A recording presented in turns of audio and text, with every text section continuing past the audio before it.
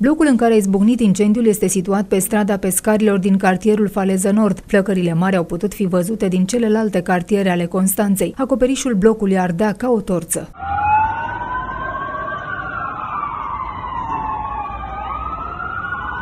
O, o podea de lemn făcută de niște locatari inconștienți, vă dați seama. A fost trasă și lumină și probabil că a fost un scurt circuit, a luat foc.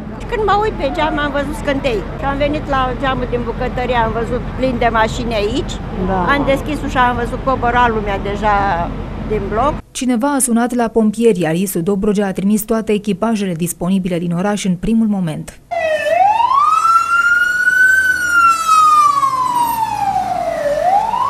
Am auzit pompierii care mi-au bătut în ușă și că trebuie să cobor. Pompierii au trimis două autoscări, opt mașini de stingere cu apă și spumă, mașini pentru descarcerare, dar și ambulanțe smurt. Incendiul a izbucnit pe acoperiș, acolo unde locatarii au construit o terasă cu foișori din lemn și materiale ușoare. Zeci de locatari s-au autoevacuat. Timp de uh, aproximativ 30 de persoane din imobil care s-au autoevacuat, Alte aproximativ 40 de persoane au fost evacuate de colegii mei, de pompieri militari. Nu avem victime până în momentul de față și uh, 99,99% ,99 așa va rămâne. După aproape o oră, pompierii au reușit să localizeze incendiul și mai apoi să lichideze. Din fericire, nu s-au înregistrat victime. Urmează să fie evaluate pagubele și pompierii să stabilească de la ce a pornit focul. Sunt luate în calcul toate variantele, de la un scurt circuit și până la neglijență umană, mai ales că unii locatari susțin că pe acoperiș vecinii lor obișnuiau să facă grătare.